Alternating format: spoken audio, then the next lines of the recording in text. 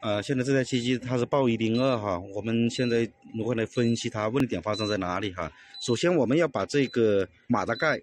啊，用同样的方法把马达盖给拆开。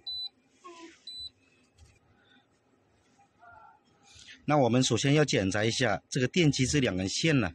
它们有没有接触不良哈，或者是没有没有那个呃脱下来了松脱了啊，都会造成这个一零二。因为一零二的故障的话，它是没有识别到这个电机嘛，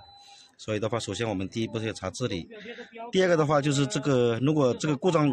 啊这里查好了没问题，它还是没有排除的情况下。我们就要把这个电机给更换掉，啊，如果这个电机的话换了以后，它还是报一零二的情况下，那我们呢就要啊把这个控制器，把这个控制器换了，啊，可能这是这个 IGBT 啊，这个晶体管的话，啊出现了故障造成的，那一般来讲的话就是这三个地方，一个是这里，一个是电机，还有一个是这个。因为现在有多吧？没有啊。